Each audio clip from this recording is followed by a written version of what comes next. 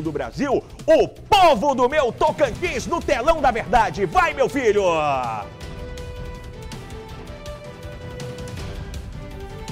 Tchau! Enche a tela!